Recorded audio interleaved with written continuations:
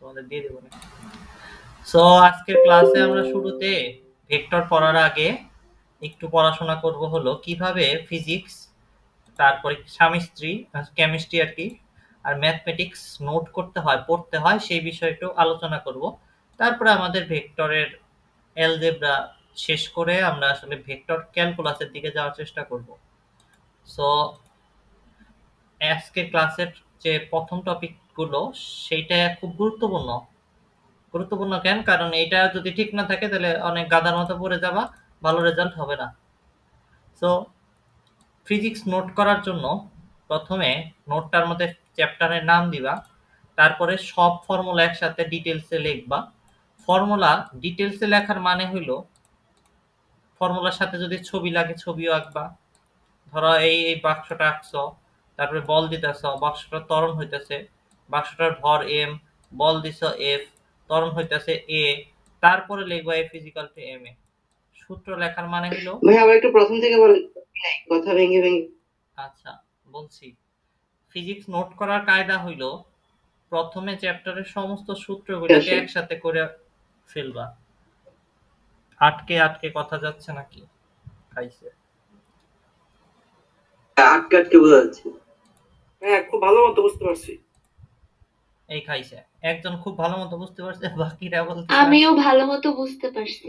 আচ্ছা তাইলে তো দুইজনের নেটওয়ার্কে ঝামেলা আছে। আচ্ছা যারটা আটকে আটকে যাচ্ছে সে আসলে আটকে আটকে তোমার কথা আমরা শুনতে পাচ্ছি। তার মানে তোমার নেটওয়ার্কে একটু ডিস্টার্ব আছে। তোমার নেটওয়ার্কটা একটু স্ট্রং করার চেষ্টা করো। দেখো প্রথমে কাজ করবা হ্যাঁ অসুবিধা নাই। তুমি আমি তোমার আবার বলে দিচ্ছি। প্রথমে সমস্ত পুরো চ্যাপ্টারটার সবগুলো ফর্মুলাকে একসাথে করে ডিটেলে লিখবা। ডিটেল লেখার মানে হইল কোনটারে কি বলে এম কি এ কি এফ কি, তারপরে A physical to M A. Formula লেখা মানে কিন্তু এটা না যে খালি A physical to M A লিখে রাখলা। সাথে যদি কোনো একটা ছোট্ট ম্যাথ স্মল ম্যাথ গণিত দিতে হয়, অঙ্কটা বুঝ মানে সূত্রটা বোঝার জন্য যদি তোমার লাগে যে একটা অঙ্ক দেওয়া রাখব তাহলে তুমি সেটা সবচেয়ে ইজি একটা অঙ্ক দিয়ে রাখতে পারো। কঠিন কিছু না। এই সূত্রটা বোঝার জন্য যা লাগে, যতটুকু লাগে। এরকম কিছু দিয়ে পুরো চ্যাপ্টারের সমস্ত সূত্র একসাথে করবা। এরপরে যদি দরকার পড়ে ছবি আঁকবা, দরকার পড়ে ম্যাথও দিবা, সূত্রের সাথে এই জিনিসগুলা। এরপরে করবা কি ফিজিক্সের কনসেপ্ট থাকে। কনসেপ্টগুলোর রে খুব ছোট করে নিজের ভাষায় লিখবা। এবং কিছু বেসিক নলেজ থাকে। এই জিনিসগুলোকে একসাথে করে নিজের নোটের মধ্যে গুছিয়ে রাখবা। এগুলা দিয়ে আসলে ঘ নম্বরে সিদ্ধান্ত নিতে হেল্প করবে। এটা এগুলা দিয়ে খ নম্বর প্রশ্ন সমাধান করা যাবে। কনসেপ্ট আর বেসিক এগুলাকে আলাদা করবা। আর বাকি কোনো কষ্ট কষ্ট লাগে এরকম কোনো অঙ্ক টঙ্ক থাকলে সেগুলাকে শেষে তুলে ফেলবা। এটা হলো ফিজিক্স নোট করার টেকনিক আমি একটু বুঝিয়ে দিই একটু তোমাদের সামনে করে। তোমাদের সামনে আমি এখন একটা নোট কেমনে করে ওইটার একটা এক্সাম্পল ডেমনস্ট্রেট করতেছি। রেডি হয়ে যাও দেখার জন্য। আমি এই যে একটা সাদা খাতা নিতেছি দেখো সাদা খাতা নিলাম। সাদা খাতার মধ্যে আমি প্রথমে ধরো চ্যাপ্টারের নাম লিখতাম ধরো ভেক্টর আসে না আসছে। আসবে আসবে লিখি নাই তো আসবে কেন? আচ্ছা লিখলাম ভেক্টর এরপর ভেক্টরের মধ্যে মনে করো আমি একটা ভেক্টর এ যদি থাকে সামথিং দুই আই হ্যাট প্লাস তিন J hat plus three K four K hat এরকম থাকে। তাহলে ওইটার মান নির্ণয় করার সূত্র লিখতেছি, মনে করো নোটের মধ্যে। তাহলে এইভাবে করে লিখব যে এইভাবে করে মান নির্ণয় করতে হয়। তারপর লিখে রাখব, এমনি করে মান নির্ণয় করতে হয়, মান। সো এটার আরেকটু যারা আর একটু কম বুঝো, তারা তারা এরকম করে নোট করবা যে এক্স অক্ষ বরাবর দুই ওয়াই অক্ষ বরাবর তিন জেড অক্ষ বরাবর চার আছে। এই তিনটা ভেক্টরের লব্ধি ভেক্টর হলো এ মানে এ হইল এই জিনিসটা। তো এভাবে ছবি আঁকলাম, এটার নাম ছবি, এটার নাম হলো ব্যাখ্যা। মানে মান যে এটা লেখলা, আর এইটা হলো সেই সূত্রটা সরি এটা হলো সেই সূত্রটা যেটা ইউজ করছ। এভাবে করে একটা, দুইটা, তিনটা যত সূত্র আছে, আমাদের over P square Q square plus two P Q cos alpha এরকম এরকম যত সূত্র আছে, সবগুলো একটার পর একটা আসবে। এগুলা হলো একটা মডিউল তোমার নোটের একটা অংশ। এটার নাম মডিউল ওয়ান মডিউল টুতে কি বলা হয়েছে? কনসেপ্ট আর বেসিক গুলাকে একসাথে করতে। কনসেপ্ট আর বেসিক কেমন জিনিস সেগুলা? যেমন তোমাকে বলা হয়েছে ক্রস গুণন করলে কেন? সাইন থেটা আসে ক্রস করলে কেন? সাইন থেটা আসে। ডট করলে ডট গুণন করলে কেন কস থেটা আসে? এইসব প্রশ্নের উত্তর তুমি ধরো লেখা রাখলা যে এই ক্রস গুণন করার মানে হলো দুইটা, একটা ভেক্টর আর একটা ভেক্টরের সাথে লম্বভাবে নিয়ে গুণ করা বা একটা ভেক্টর আরেকটা ভেক্টরকে কত জোরে ঘুরাইতে পারে সেই অ্যাবিলিটিটা বোঝা যাবে ক্রস গুণন দ্বারা। তাই আমাদের সাইন উপাংশ আছে। তুমি তারপরে ছবি এঁকে ব্যাখ্যা করবা, ওই যে কজ উপাংশ সাইন উপাংশ দিয়ে আমি তোমার বুঝাইছিলাম ওগুলা। তারপরে ক্রস ডট গুণনের মানে হলো দুইটা ভেক্টরকে একই দিকে নিয়ে গুণ। এভাবে করে ব্যাখ্যাটা লিখে রাখবা। তারপর লিখে রাখবা যে নদী নৌকার অঙ্ক করার সময় লম্বভাবে যত উপাংশ থাকে, সেটাকে আমরা বলি ভিওয়াই সেই ভিওয়াই ব্যবহার করতে হবে এস ইজিক্যাল টু ভিটির মধ্যে। এই জায়গায়। মানে ওয়াই উপাংশগুলো যোগ করে ভি এর জায়গায় এস ইজিক্যাল টু ভিটির জায়গায় বসিয়ে দিলেই নদীর প্রস্থ এবং নদী পার হইতে টাইম এগুলা বের করা যাবে। এগুলা সবই কনসেপ্ট তারপরে ওই যে গাড়ির সামনে কাজ ভিজবে কখন, পিছনে কাজ ভিজবে কখন, এই নোটগুলো কনসেপ্টের আন্ডারে চলে আসবে। এটা ফর্মুলার আন্ডারে না। তারপরে এই যে আজকে ক্লাসে বা সামনে ক্লাসগুলোতে পড়াবো কার্ল ডাইভারজেন্স গ্রেডিয়েন্ট এগুলো দিয়ে কি হয়, না হয়, এই সমস্ত কথাবার্তা। এটা হলো মডিউল টু নোটের মধ্যে থাকবে তোমার। মডিউল থ্রিতে কি থাকবে? আদার্স আদার্স এর মধ্যে ধরো কিছু সংজ্ঞা থাকতে পারে সংজ্ঞা আসলে নোট করে কুলাইতে পারবা না, অনেক সংজ্ঞা আছে। সংজ্ঞাগুলা বই দাগিয়ে ফেলবা। ডেফিনেশন বা সংজ্ঞা বই দাগিয়ে ফেলবা। তাহলে মডিউল থ্রিতে কি দিবা? আদার্স মানে কিছু জিনিসপত্র থাকবে যেটা তোমার নিজের মতো নোট করে রাখতে ইচ্ছা করবে। যেমন হইতে পারে যে একটা কঠিন হার্ড ম্যাথ হার্ড ম্যাথ বা হার্ড সিকিউ কোনো কোশ্চেন আছে, সেটা প্রশ্ন সহ তুইলা নিজের কাছে রাইখা দিবা, যেটা তোমার খুব কষ্ট লাগে, ওইটা হয়তো পরীক্ষার আগে দেখে গেলে সুবিধা হবে। এরকম জিনিসগুলা গুছিয়ে রাখবা আদার্সে এটা হলো মডিউল থ্রি তো এই তিনটা মডিউলে তোমার এক একটা চ্যাপ্টারের নোট হবে। সো এক একটা চ্যাপ্টারের নোট কত পেজটা হবে? মোটামুটি দুই থেকে তিন পেজের মধ্যে শেষ। একটা চ্যাপ্টার এর থেকে বেশি পড়ার সময় তুমি পরীক্ষা হলে পাবা না।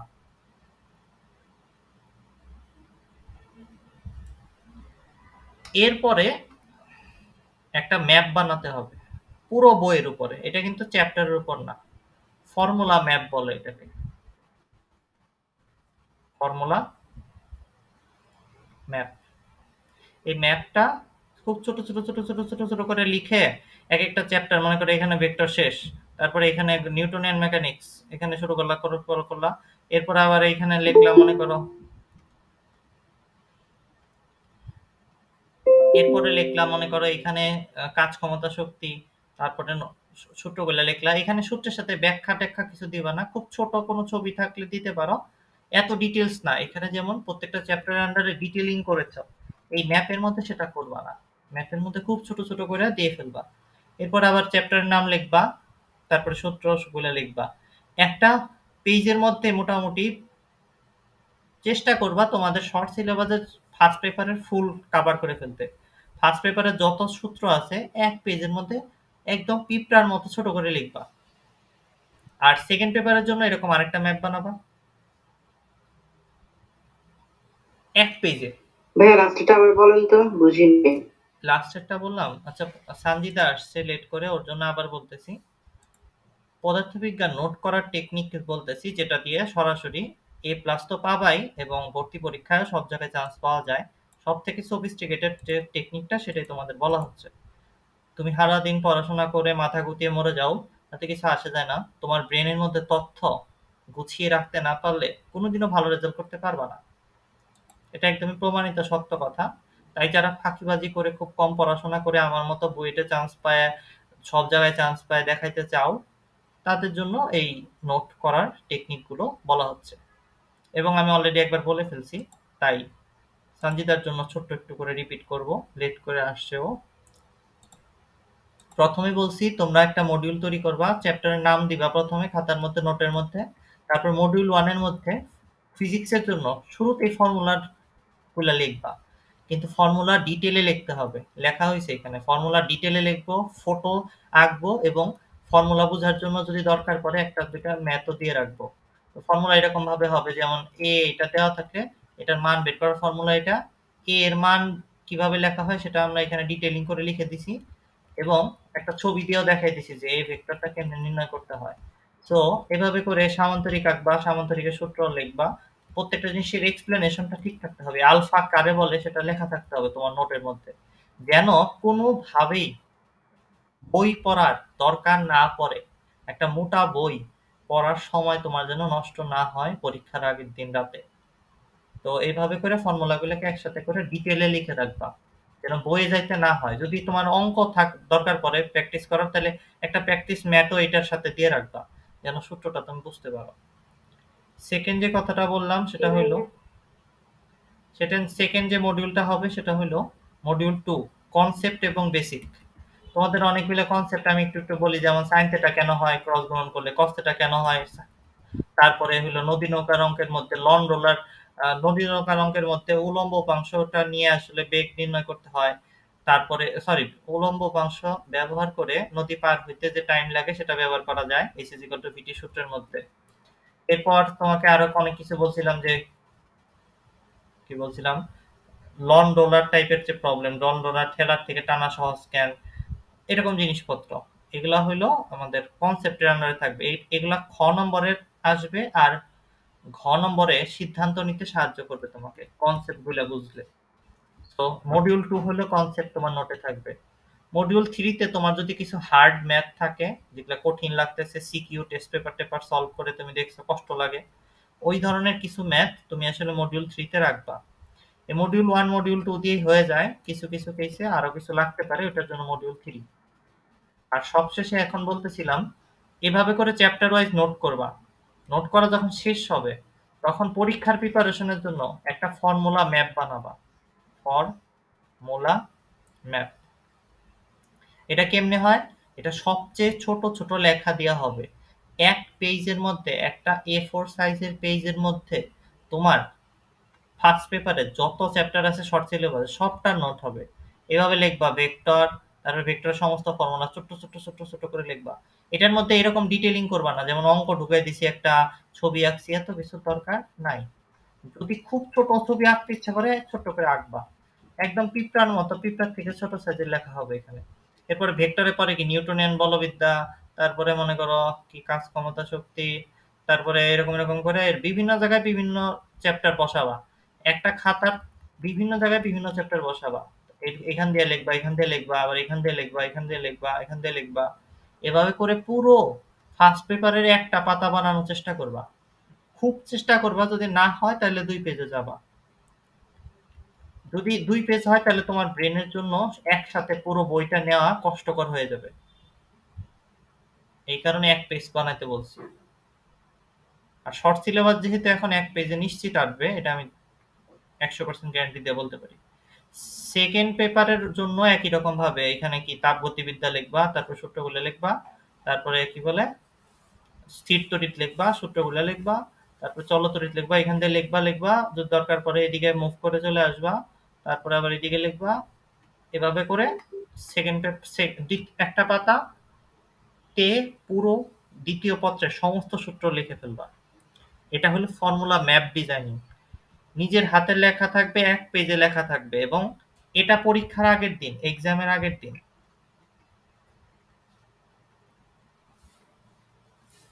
এক রাতে এখানে কি শুধু সূত্রগুলো লিখব? এখানে শুধু সূত্রগুলো লিখবা ডিটেইলিং না।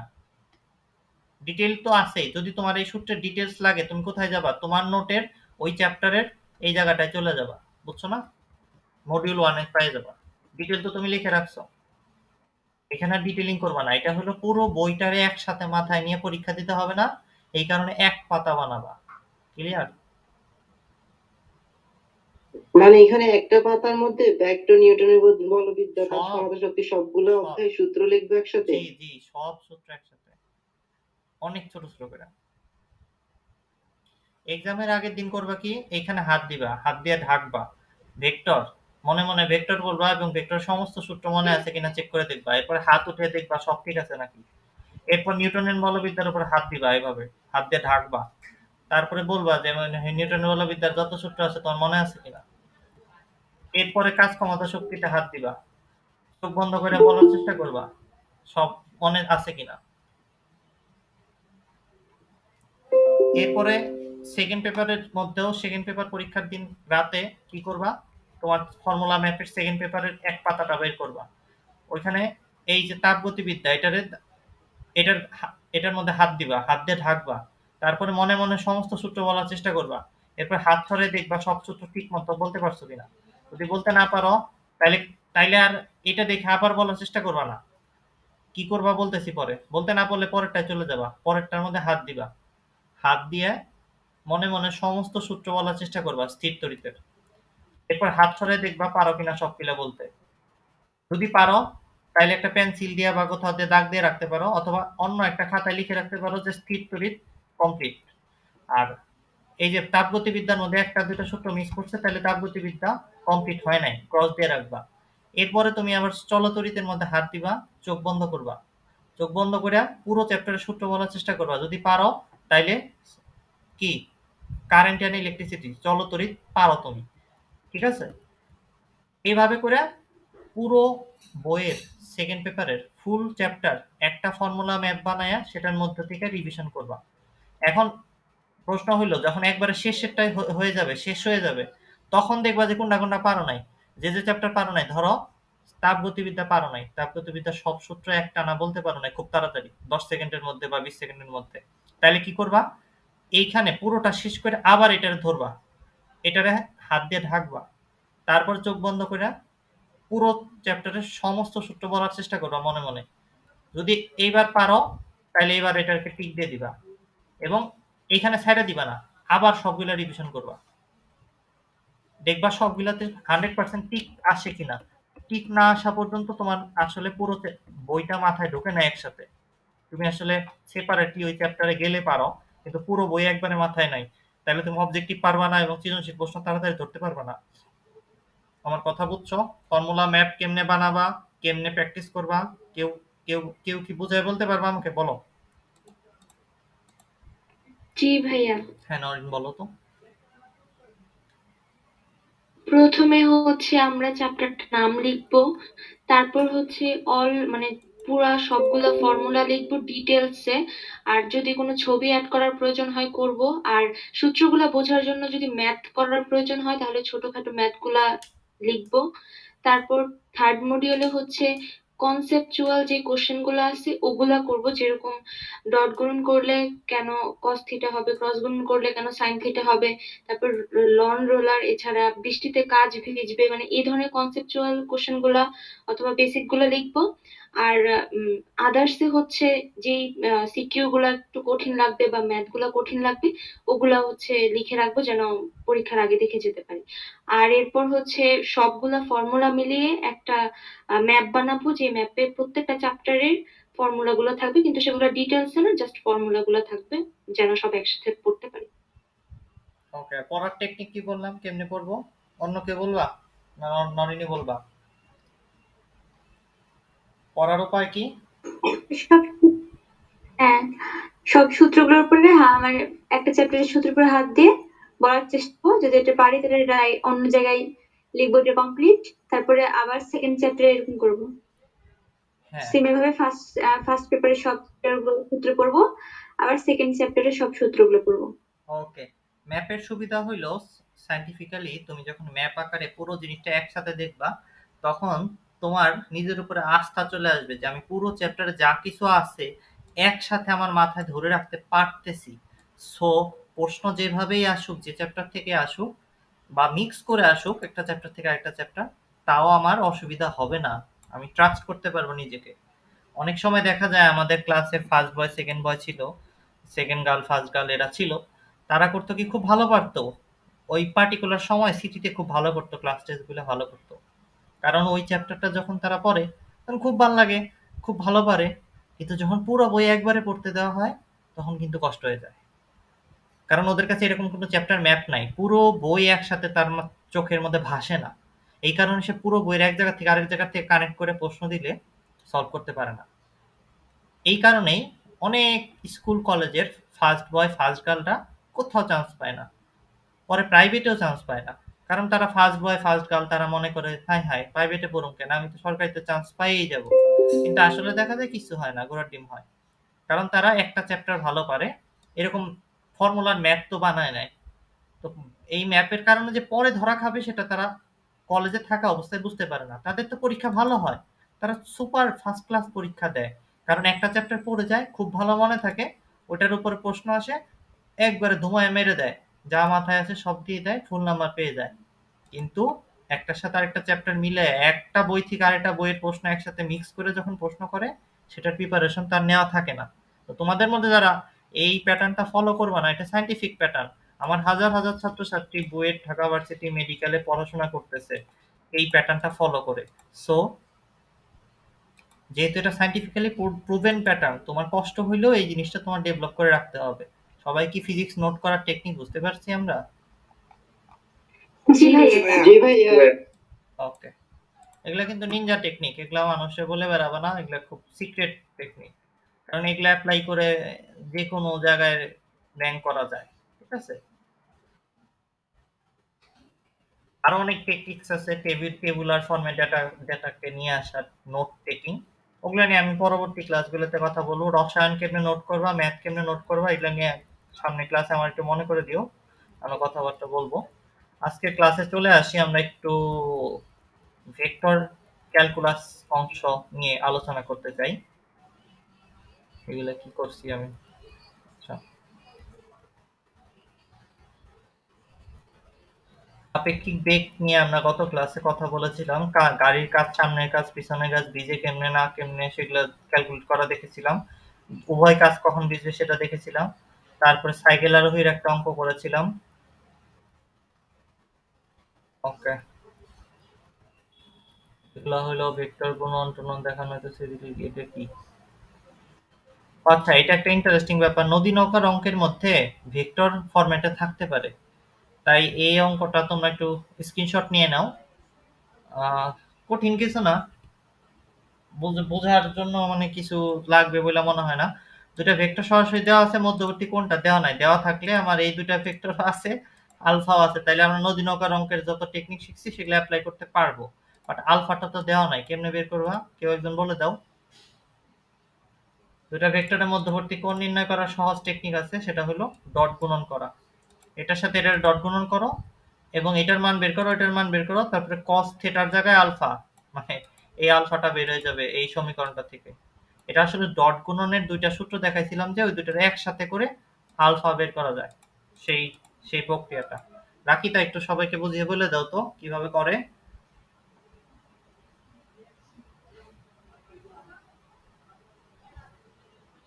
রাকিতা আছো?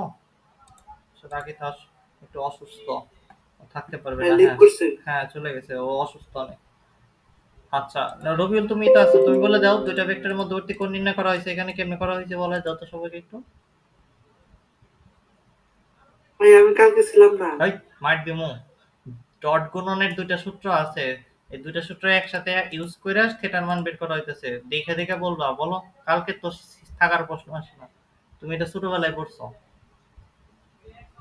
এই যে ডট গুণনের একটা সূত্র এই যে এ এক্স বি এক্স এটা আর হচ্ছে এ বি কস থিটা এই দুইটা সূত্র দিয়ে যে মানগুলো বসাই আসতে যে কস থিটা কস আলফা থেকে যে মানটা বের করছি। রাইট তাইলে আলফা বের হয়ে গেল মানে দুইটা ভেক্টরের মধ্যবর্তী কোণ বের হয়ে গেল তাই না? এরপরে তো এস ইজিক্যাল টু ভিটি দিয়া তুমি হলো নদীর প্রস্থ দেওয়া থাকলে সময় বের করতে পারো নদী পার হইতে। এটা এই অঙ্ক আগেও করছ। যদি এইখানে আলফার মানটা যদি দেওয়া থাকে মানে এই অ্যাঙ্গেলটা থাকে তাহলে এই অঙ্ক তো অনেকবার করছি তাই না মুনতাহা? তারপরে নরিন কি বলো? জি ভাইয়া। ওকে। তো কারও কোনো প্রশ্ন আছে? এটা কেমনে করবা? এটা নটরডামের প্রশ্ন। পারবা? সবাই? জি ভাইয়া। ওকে। কত ক্লাসে আমরা এগুলো দেখছি? রোটেশন নট পসিবল ও আচ্ছা এই যে ক্রস গুণন আসলে একটা ভেক্টর একটা ভেক্টরকে কত জোরে ঘোরাইতে পারে সেটা প্রকাশ করে? এখানে সেটাই বোঝানো হয়েছে যদি দুইটা ভেক্টর একই দিকে থাকে, তাহলে এই ভেক্টর এই ভেক্টরে ঘুরাইতে পারবে না কোনোদিনও। এটা যদি ফ্যানের একটা পাখা হয়, এটা ঘুরবে না কোনোদিনও। পাখারে এই বরাবর টান দিলে ছিঁড়ে যাবে, তাও ঘুরবে না। ঠিক আছে না কথাটা? কিন্তু এই বরাবর ধাক্কা দিলে পাখা কিন্তু ঘুরবে, তাই না? এমনি ঘোরা শুরু করবে, এমনি ঘুম ঘুরতে থাকবে ঠিক আছে? আচ্ছা।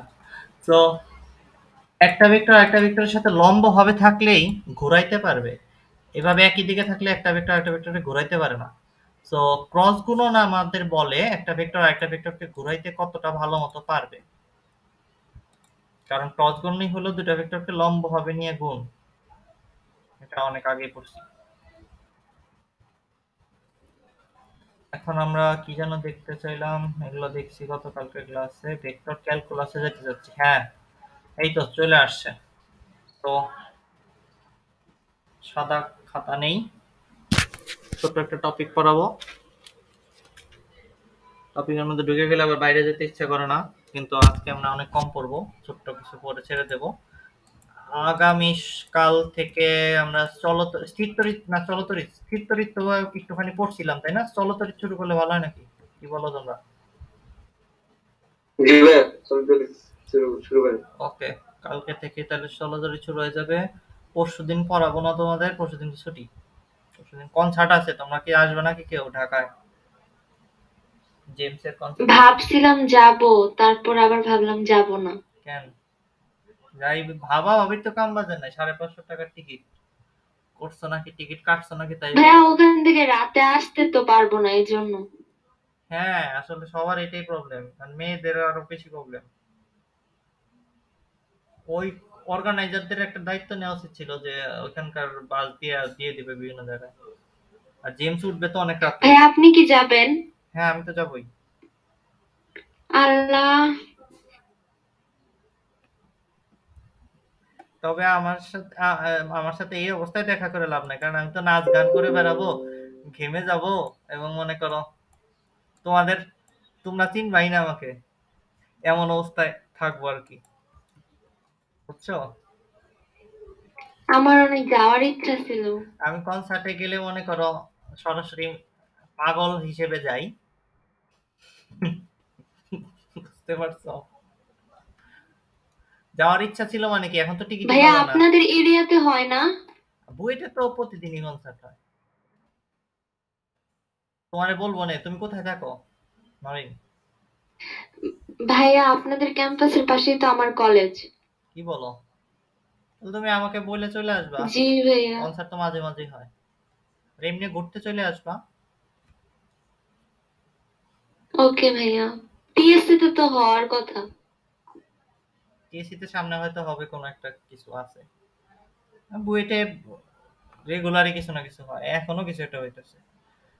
সো কিছুদিন আগে তো র্যাক কনসার্ট হইল। আচ্ছা তোমাদের হলো কি বলে স্কেলার ফিল্ড ভেক্টর ফিল্ড নিয়ে আমরা একটু কথা বলব। তো টপিকটার নাম দাও স্কেলার ফিল্ড কিছুই তো লেখা হয় না। তোমার কলেজ কোনটা? নরিন ভুলে গেলাম। বেগম বদরুন্নেসা সরকারি মহিলা কলেজ ও তুমি তো আমার বাসার কাছেই থাকো। তুমি থাকো কোথায়? স্কেলার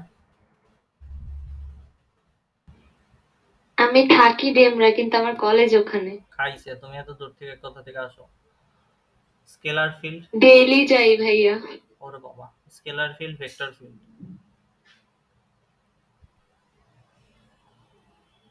তোমার কলেজের বন্ধু বান্ধবীরা কই? তারা ভর্তি হয় না কেন? তাদের নিয়ে আসবা ক্লাসে ধরে তারা কি তাদের কি নেট নাই নাকি? এই যে তাদের জানায়ও স্থির তরি শুরু হইতেছে। চলতরি শুরু হবে। ওটা অনেক পাওয়ারফুল এবং মজার কোর্স সরি ওকে ভাইয়া। তোমাদের কলেজের বাচ্চাদের নিয়ে আইসো চকলেট খাওয়ায়া। আচ্ছা দেখো, আমরা দেখতে চাচ্ছি আসলে scalar field and vector field কাকে বলে? স্কেলার রাশি এর কি থাকে? জেনারেলি মান থাকে। ভেক্টরে কি থাকে? মান দিক দূরে থাকে, তাই না? ওকে সো স্কেলার ফিল্ড মানে হলো এমন রাশিগুলোর দ্বারা তৈরি হওয়া ক্ষেত্র স্কেলার ক্ষেত্র বা স্কেলার ফিল্ড একই কথা। ভেক্টর ক্ষেত্র, ভেক্টর ফিল্ড একই কথা। স্কেলার ক্ষেত্র মানে হলো এমন একটা জায়গা যে জায়গা দিয়ে স্কেলার রাশির তার প্রভাব বিস্তার করেছে। যেমন, স্কেলার রাশি অনেক ধরনের আছে। কাজ একটা স্কেলার রাশি, তাই না? আবার ভেক্টর রাশি অনেক ধরনের আছে। বল একটা ভেক্টর রাশি। তো আরও অনেক আছে, আমরা এই দুইটা নিয়ে একটু ঘটনা ঘটাবো আর কি। কাজ অথবা শক্তি লিখতে পারি। শক্তি নিয়ে কাজ করাটা সুবিধাজনক হবে। শক্তি কি নাও এটা ওকে শক্তি শক্তি কিন্তু একটা স্কেলার রাশি। আর এই ভেক্টর একটা ভেক্টরের এক্সাম্পল হিসেবে বল নিয়ে কাজ করব। তো এখন কি করি দেখো, এই জায়গায় আমরা যদি আগুন জ্বালিয়ে দেই, তাহলে আগুন জ্বলতেছে দাও দাও করে, ঠিক আছে? কি কালারের আগুন? তো এরকম আগুন জ্বলতেছে। নিচে মশাল আছে। এখন এই আগুন যে জ্বলতেছে, তার প্রভাব চতুর্দিকে পড়বে।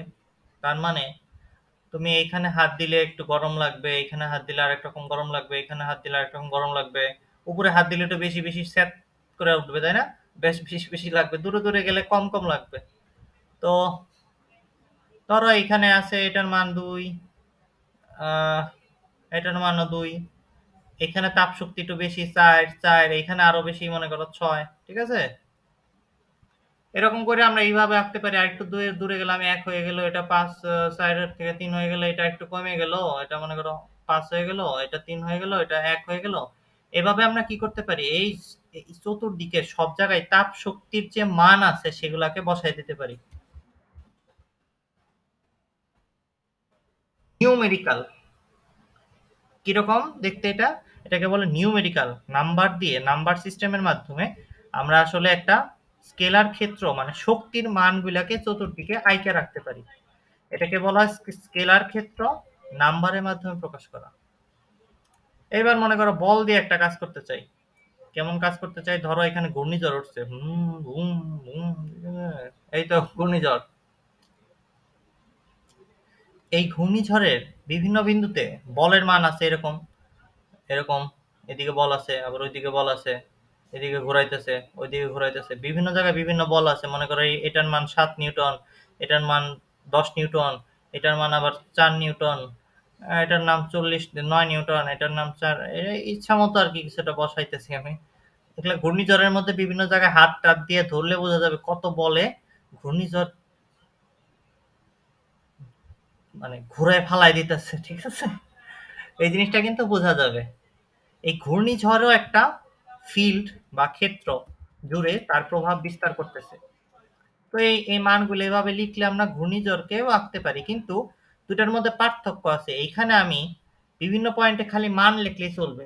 ঘূর্ণিঝড়ের ক্ষেত্রে, ঘূর্ণিঝড়ের তো বল প্রয়োগ করতেছে, কোন দিকে ধাক্কা দেবে সেটা ড্র করতে হইতেছে। তাই এইটা আর এইটা দেখতে একরকম না।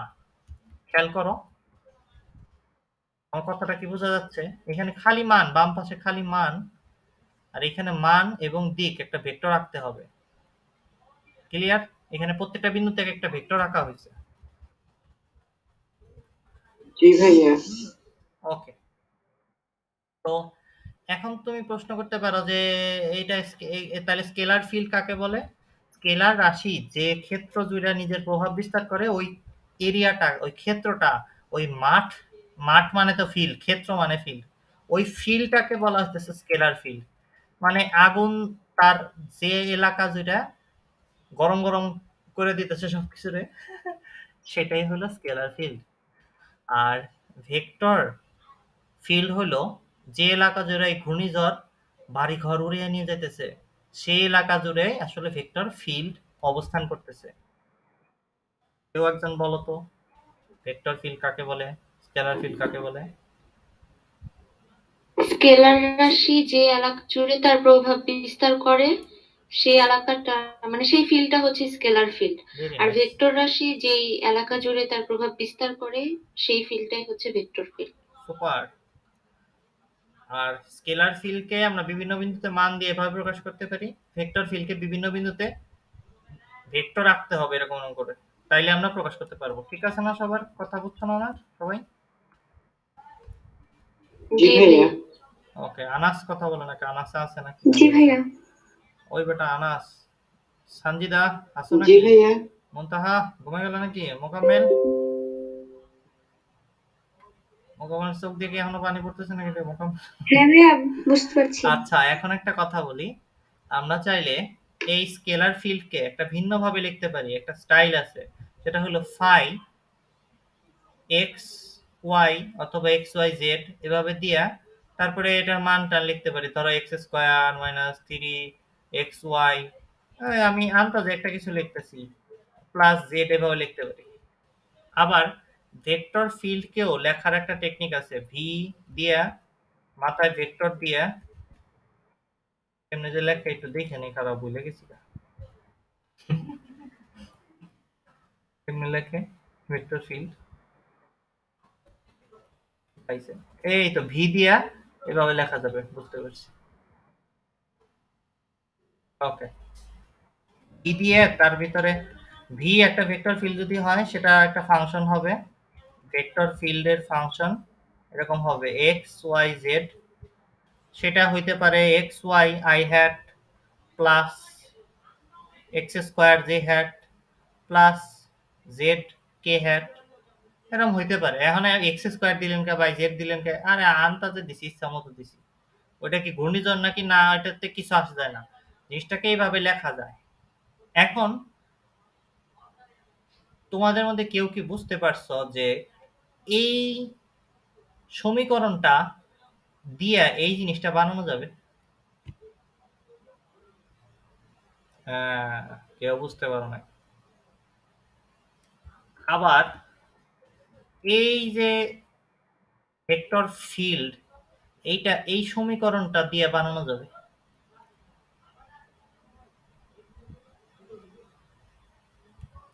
মানে একটা একটা অল্টারনেটিভ আমি যে ছবি আঁকছি, এত কোটি কোটি বিন্দু দেখাইতেছি, এই বিন্দু আর নাই কে মাত্র একটা লাইন লিখলে কাজ হয়ে যাবে।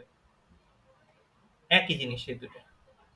আবার এই এত এত বিন্দুতে ভেক্টরগুলো আঁকার দরকার নাই। আমি চাইলে একটা সমীকরণ দিয়ে এভাবে লিখতে পারি পুরো জিনিসটাকে।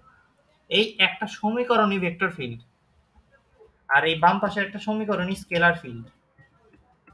এটারে বলব স্কেলার ফিল্ড। একটু বড় করে লিখলে স্কেলার ফিল্ড ইকুয়েশন বা সমীকরণ।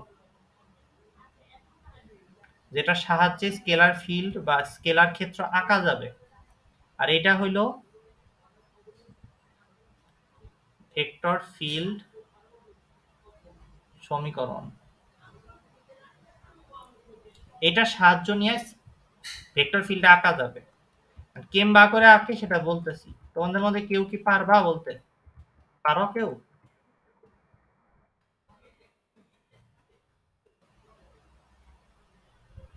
কেউ আসো এই আমার কথা শোনা যায়? জি ভাইয়া শোনা যায়। ওকে তাহলে কেউ পারো না বোঝা গেছে। আচ্ছা ধরো হ্যাঁ এরকম দেখো ধরো এরকম একটা সমীকরণ দিয়ে দিল তোমাকে বলল স্কেলার ক্ষেত্র আঁকো। এটা স্কেলার ফিল্ডের সমীকরণ দেওয়া গেছে কারণ এটার মধ্যে আই হ্যাট যে হ্যাট নাই। তাই এই যে এইটা, এটা একটা স্কেলার ফিল্ডের সমীকরণ। এখন তোমাকে বলল স্কেলার ক্ষেত্র আঁকো। কিবা করে আঁকিবা আঁকার টেকনিকটা কি? বলে দেই। করবা কি? খুব সুন্দর করে এক্স অক্ষ ওয়াই অক্ষ নিবা। যেহেতু এটার মধ্যে এক্স ওয়াই আছে, তাই জেড অক্ষের কোনো দরকার নাই। এই স্কেলার ফিল্ড একটা two two D scalar field এখন আমি দেখো আঁকার চেষ্টা করি। কেমনে আঁকবা? বিভিন্ন বিন্দুতে যাবা। মনে করো এটা জিরো জিরো বিন্দু, এরপর এটা ওয়ান জিরো বিন্দু, এরপর এটা টু জিরো বিন্দু, এরপরে এইগুলা কি হতে পারে? এটা ওয়ান এটা ওয়ান, এটা হলো জিরো ওয়ান বিন্দু। এইখানে এই পয়েন্টে এই পয়েন্টটা কি হবে? এদিকে ওয়ান এদিকে ওয়ান, দুই দিকে ওয়ান, তাহলে এটা এই পয়েন্টটা কি? One one. ওকে তো এইবার দেখো আমি কয়েকটা পয়েন্টে এই ফিলটাকে আঁকার চেষ্টা করতেছি। তো এটা ওয়ান ওয়ান হলে এইটা কি হবে বলো তো কেউ? এটা? কোনটা? মাইনাস কোনটা হ্যাঁ এই তো মাইনাস বলে মাইনাস মাইনাস ওয়ান ওয়ান তাই না?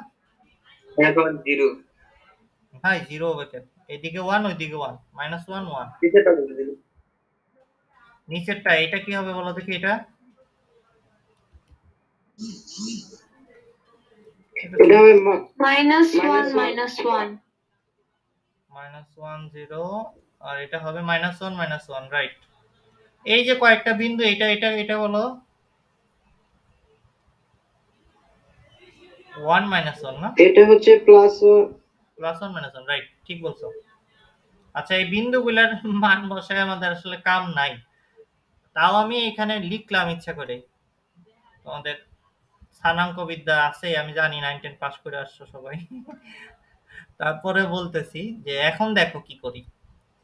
এখন আমরা করব কি, এই চারটা বিন্দুতে ধরো স্কেলার ফিল্ডের মানগুলা জানতে চাইতেছি। মানে এরকম ভাবে আগুন ধরলে কোন জায়গায় কি হবে এটা জানতে চাইতেছি। তো এটা জানার উপায় কি ওয়ান ওয়ান বিন্দুতে জানতে চাইতেছি, করবা কি ওয়ান মানে কি এক্সের মান ওয়ান ওয়াই এর মান ওয়ান ওয়ান ওয়ান বসিয়ে দাও এই সমীকরণে। তাহলে যে মান পাবা সেটাই হলো এই বিন্দুতে স্কেলার ফিল্ডের মান। তো আমি এটা রাবার দিয়ে মুছতেছি দেখো কি করি। রাবার দিয়ে মুছার পরে আমরা এক্সের জায়গায় ওয়ান ওয়াই এর জায়গায় ওয়ান বসিয়ে দেবো। তাহলে ফাই এর মান কত পাবো? ফাই ওয়ান কমা ওয়ান মানে টু ইন্টু ওয়ান ওয়াই এর মানও one minus one square sorry one না দেখি। কত আসে?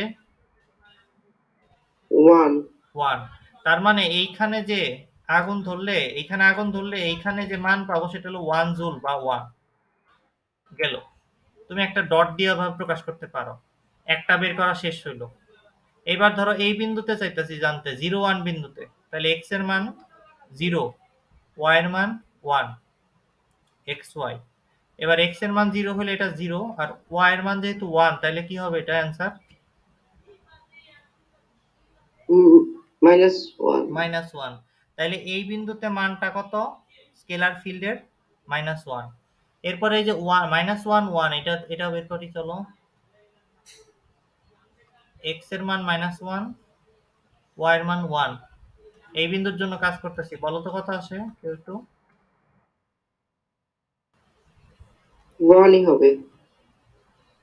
Two into minus one into one minus one square কত হয়? Minus three. Minus three. তাইলে এই বিন্দুতে মান হইল মাইনাস থ্রি। এইভাবে করে মাইনাস ওয়ান ওয়ান এইটার জন্য করো দেখি। Sorry minus one minus one দুইটাই মাইনাস। এটা মাইনাস এটা মাইনাস তাহলে মাইনাসে মাইনাস হয়ে গেল প্লাস। আর মাইনাস ওয়ান হোল স্কোয়ারে কিছু আসে যায় না এটা হলো ওয়ান হবে তাই না? এরপরে এটা আসো। এগুলো আমরা না বের করলাম, অনেক সময় নষ্ট হবে। ওয়ান মাইনাস ওয়ান, এটা কত হবে? এটাও মাইনাস থ্রি নাকি?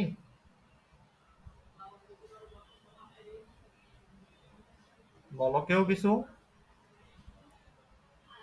আচ্ছা। তাইলে এখন আমি যদি এইগুলা সব মুছে দেই, এটা মুছে দেই, এটা মুছে দেই তাহলে এই যে দেখো আমরা পেয়ে যাচ্ছি না এভাবে করে আমরা কি করতে পারতাম? আমরা চাইলে সব জায়গায় এই ফাই দ্বারা প্রকাশিত স্কেলার ক্ষেত্রটার মান পেয়ে যেতাম। এই পুরো জায়গায় এই ক্ষেত্র জুড়ে ফায়ের মানগুলি আমরা বাইর করে পারতাম না। বলো আমার কথা বোঝা যায় এবার? আমি পাঁচটা বের করছি পাঁচটা তোমাদের সামনে বের করে দেখাইছি। পাঁচটার মধ্যে একটাও বোঝো নাই। এরকম তো হওয়ার কথা না যদিও। তারপর যদি কেউ থাইকা থাকো তাহলে সে একটু বলো আমারে যে ভাই এটা কি করলেন ভাই? কেউ কি আসো এরকম? মন্তাহা কি বললাম বুঝি নাই? পারব। ওকে পারলে তো খুবই ভালো। এরপরে আমরা আমরা বলছিলাম যে এইটা দিয়ে এটা আঁকা যাব তো কইলাম না যা বলছি তাই দেখছ এরকম জিনিস দিয়ে এরকম জিনিস আঁকা যাবে। মানে স্কেলার ফিল্ডের সমীকরণ দেওয়া থাকলে স্কেলার ফিল্ডটাকে ড্র করা যাবে। সবাই আমার কথা বিশ্বাস করো এখন? করি। আচ্ছা এবার। ভেক্টর ফিল্ড অর্থাৎ ভেক্টর ক্ষেত্রের সমীকরণ যদি দেওয়া থাকে এরকম কিছু তাহলে ওইটা কেমনে করে আঁকে? সেই টেকনিকটা তোমাদের এখন আমরা দেখ আমি দেখাতে যাচ্ছি। এবং এটাই আজকের শেষ টপিক চলো আমরা আঁকি। একটু বুঝি না আবার একটু বলেন। এই কোনটা বুঝো নাই? এতক্ষণ কইছিলা? তুমি কি নেট তোমার পরে এই যে লাস্টেরটা last- এতক্ষণ বলছেন যে এটা। আমি বললাম যে স্কেলার ফিল্ডের বা স্কেলার ক্ষেত্রে সমীকরণ দেওয়া থাকলে এরকম একটা সমীকরণ দেওয়া থাকলে এরকম একটা ফিল্ড আঁকা যাবে। যেমন আমি এখানে একে দেখালাম এটা দেওয়া ছিল এটা আঁকা ফেলাইলাম। আমার কথা বুঝছ মোকাম্মেল? এটা কীভাবে আঁকছেন ভাইয়া? এটা কীভাবে আঁকছেন ভাইয়া?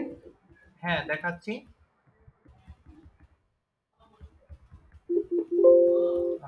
চলে গেছে। এটা হলো একটা এক্স অক্ষ টানছি তারপরে একটা ওয়াই অক্ষ টেনেছি তারপরে বিভিন্ন বিন্দুতে ফাই এর মান কত আসে সেটা বসিয়ে দিচ্ছি। বিভিন্ন বিন্দুতে ফাই এর মান যা আসে সেটা বসিয়ে দিচ্ছি বুঝছ না মোকাম্মেল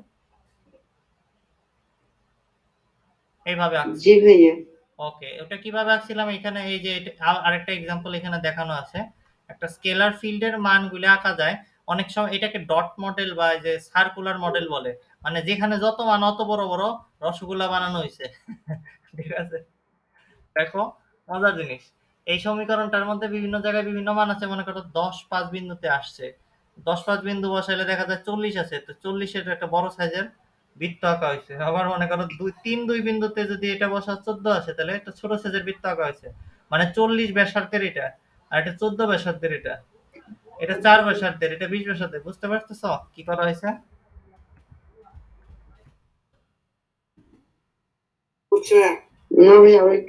রবিউল এটা বোঝায় বলো তো ওরে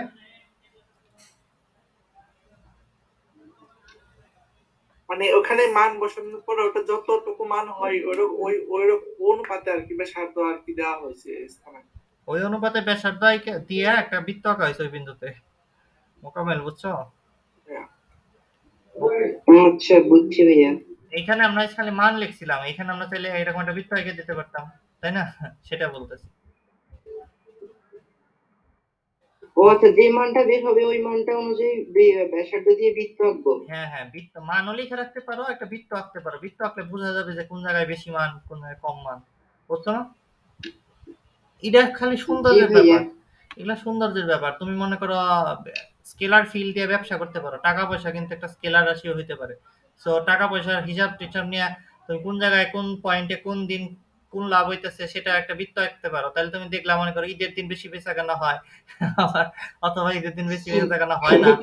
দেখলে বোঝা যাবে, ধরো এই- এইদিকে হলো ঈদের দিন পড়ছে, তো এইদিকে বড় বড় দেখা যেতেছে ঠিক আছে? হ্যাঁ? আবার তোমার পকেটের খরচ দেখলা যে এই দিন এই দিন পকেটের খরচও বেশি বেশি হইতেছে। ঠিক আছে? তো এগুলো দেখলে কিন্তু মজার জিনিস, এগুলো দেখে অনেক কিছু বোঝা যায়। এখন তোমাদের আমি যেটা বলতে চাচ্ছিলাম, এই আগুনটারেও আঁকা যাবে চাইলে খাতার মধ্যে, যেমন আমরা তথ্য বা নিউমেরিক্যালি মডেল করে আঁকলাম। আমরা স্কেলার ফিল্ড যেমন আঁকতে পারি ভেক্টর ফিল্ড আঁকতে পারি। ভেক্টর ফিল্ড আঁকাটা একটু ডিফিকাল্ট আগের থেকে একটু ভিন্ন রকম। ভেক্টর ফিল্ড কেমন আঁকে দেখাইতেছি? ভেক্টর ফিল্ড ভি এরকম ভাবে থাকে। Two x square i hat plus মনে করো three sorry two square three লিখলাম। এরকম যে হ্যাড তারপরে মনে করো five x y x y এই হ্যাট এগুলো দেওয়া হলো। এখন এই জিনিসটা আঁকতে হবে। এটা একটা বলা হইতেছে একটা ভেক্টর ফিল্ডের সমীকরণ। এটা একটা ভেক্টর রাশি না, এটা কোটি কোটি ভেক্টর রাশি এটার ভিতরে আছে। তো এটা আঁকবো কেমনে করে?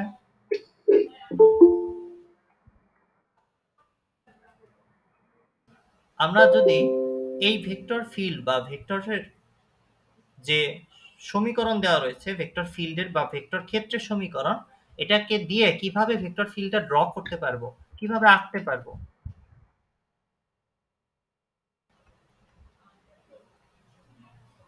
আমরা একটু আগে কি বলেছিলাম, যদি আমাদের একটা ঘূর্ণিঝড় থাকে, সেটার মধ্যে বিভিন্ন পয়েন্টে বিভিন্ন ভেক্টরের মান থাকে এবং দিকটা থাকে সেটাকে আমরা এরকম একটা ছোট্ট ফাংশন দিয়া ভেক্টর সমীকরণ বা ভেক্টর ফিল্ডের সমীকরণ দিয়ে প্রকাশ করতে পারি।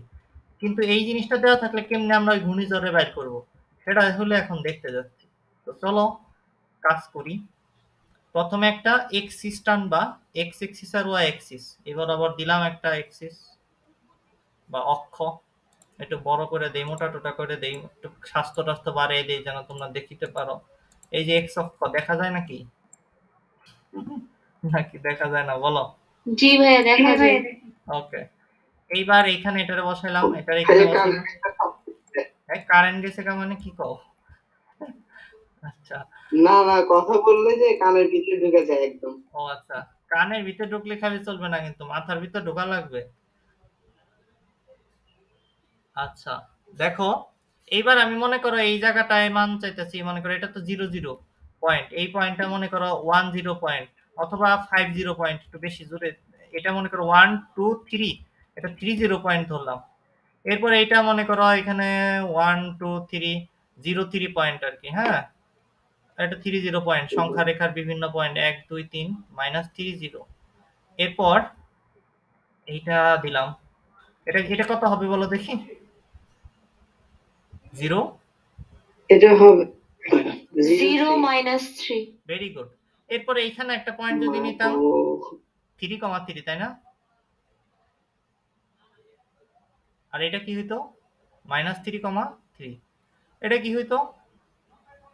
Minus three comma minus three এটা বলো দেখি কেউ। যদিও এটা এদিকে এটি এদিকে থাকার কথা ছিল বাট আমি থ্রি মাইনাস থ্রি রাইট এই তো ভেরি গুড নরেন ঠিক বলেছে এইবার তাইলে এই ভেক্টর ফিল্ডটাকে আঁকতে চাই এই কয়টা বিন্দুতে, কেমনে আঁকবো দেখাই। প্রথমে এটার উপর কাজ করতে চাই থ্রি কমা থ্রি রে মুছে দিলাম। তাহলে এক্সের মান থ্রি ওয়াই এর মান কি বসাবো? থ্রি বসাবো এক্স আর ওয়াই দুইটাই থ্রি তাইলে ভেক্টরটা বের করি থ্রি কমা থ্রিতে ভেক্টরের মানটা কত বের করি? এক্সের জায়গায় বসাবা থ্রি তো three square i hat plus two y এর জায়গায় থ্রি বসাবা। আর পাঁচ ইন্টু থ্রি ইন্টু থ্রি যেহেতু এক্স আর ওয়াই দুটার মানে থ্রি এটা কত হইতেছে? সাতাইশ মনে হয় না? তিন তিরিক্ষে নয়, তিন নং সাতাইশ, তিন দুগুণে ছক্কা, তারপরে তিন তিরিক্ষে নয়, পাঁচ নং পঁয়তাল্লিশ। এইভাবে দিলা, এরপরে দেওয়ার পরে একটা এই মাল পাইতেছ, তাই না? এটা একটা কি জিনিস? একটা ভেক্টর নাকি? ভেক্টর ফিল্ড ভেক্টর ফিল্ডের মান। একটা ভেক্টরের মান ভেক্টর ফিল্ড না ফিল্ড না কারণ এটা- নড়বে না তো এটা ফিক্স মান দেখো। এটা ফিক্স জিনিস এটা নোট প্রচত্ব না। এইবার এই বিন্দুতে করবা কি? আবার এক্স অক্ষ ওয়াই অক্ষ জেড অক্ষ এভাবে আঁকবা। এটা হলো ম্যাজিক ভেক্টর ফিল্ড আঁকতে পারে বাংলাদেশে খুব কম টিচার আছে তো তোমরা তাদের মধ্যে একজন। ঠিক আছে?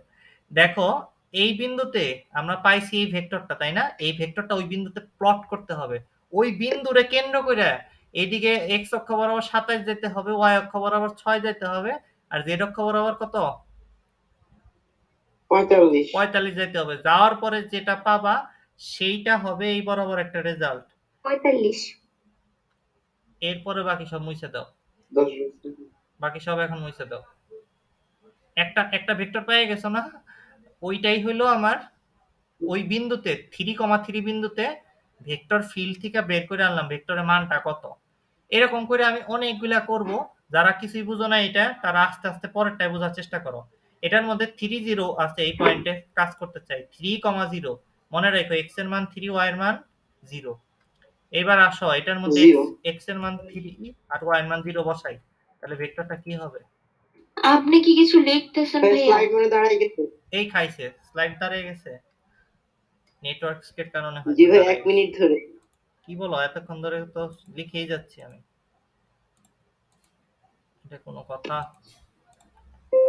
নেট কানেকশন এত দুর্বল হয়ে গেছে এত দুর্বল। দেখো আমি এখানে ড্র করেছি এই বিন্দুতে ওই ভেক্টরটা বুঝছ সবাই? ওই ভেক্টরটা আবার আঁকেন তো একটু ভাইয়া। ও আচ্ছা আবার আঁকতেছি। আমরা কীভাবে আঁকছিলাম দেখাই। ওই ভেক্টরটার মধ্যে যে মান আসছিল সেই মানগুলা দিয়ে ইউজ করে এই ভেক্টরটাকে আঁকছি। কেমনে? এইখানে এইখানে এইখানে এক্স ওয়াই জেড অক্ষর দিছি। তো এক্স বরাবর জানি কত জানি আসছিল? দশ বিশ তিরিশ যাই আসছিল এক্স বরাবর যাবা অতটুকু। আর ওয়াই বরাবর যে মান আসছিল সেই বরাবর যাবা। হ্যাঁ আবার দাঁড়ায় গেছে। এই খাইছে। বারবার একই অবস্থা হয় কেমন লাগে? না ভাই ঠিক আছে। এখন ঠিক আছে? তো এক্স বরাবর পঁয়তাল্লিশ।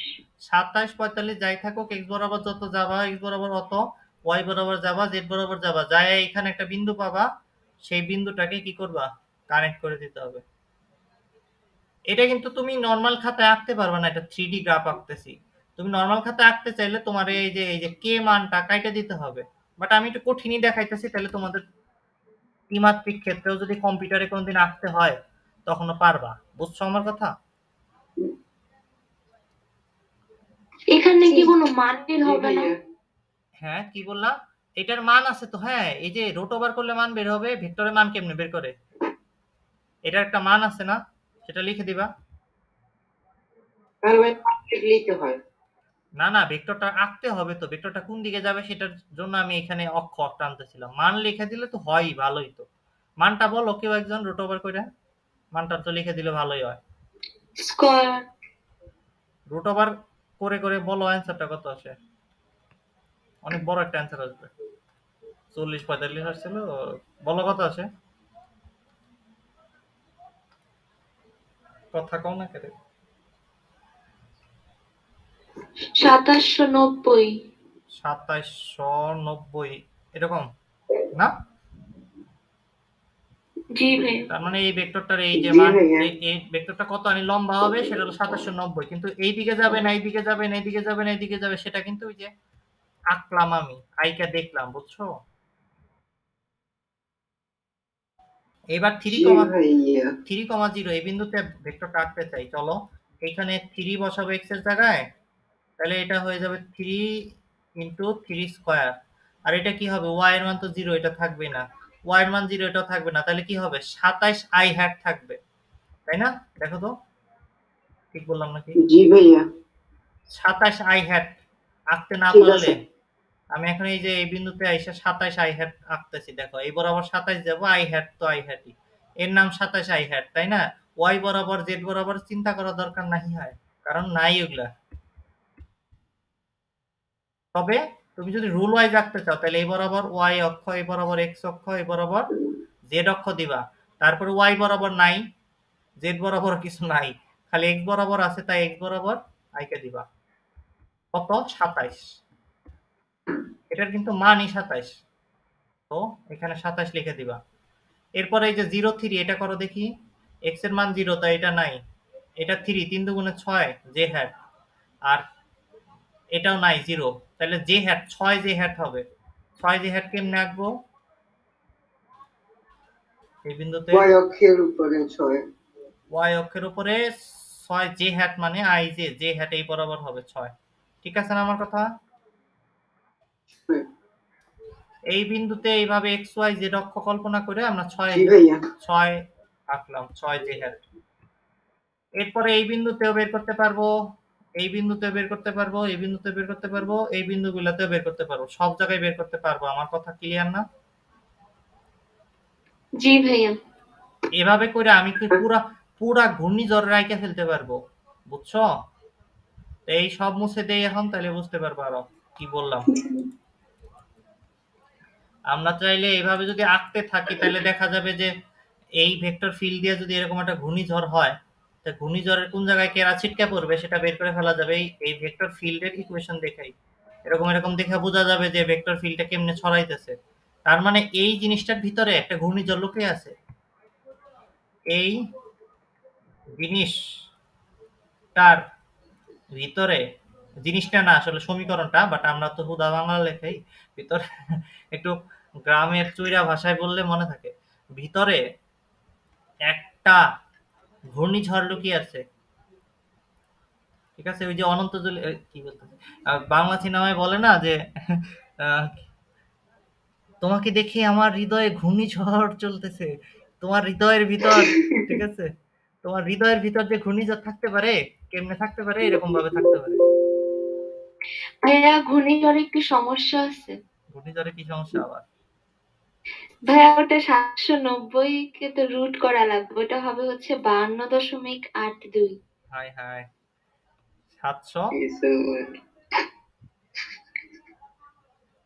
সাতশো বাহান্ন দশমিক? বান্ন দশমিক আট দুই। সাতশো বাহান্ন না শুধু বাহান্ন ও আচ্ছা তাই কো তাই কো। রুট না করে বলে দিছিলা? জি ভাইয়া। এই তো এরকম ঘূর্ণিঝড় মেয়েদের হৃদয়ে যে সমস্ত ঘূর্ণিঝড় চলে ঠিক আছে? এগুলোর মধ্যে সমস্যাই থাকে। তাহলে আমরা কি বুঝলাম? ভেক্টর ফিল্ড স্কেলার ফিল্ড কাকে বলে এবং মানুষ মাত্রই ভুল ভাইয়া ছেলে মেয়ে উভয়ই।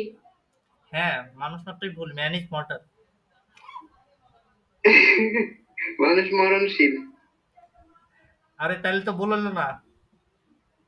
আমার বাংলা আমার বাংলা টিচার বলতো এভাবে করে, সুন্দর করে, যে ম্যান মানে কি, মানুষ মাত্রই মরণ মানুষ মাত্রই ভুল। তাহলে কি, এটার ইংরেজি কি? Man is mortal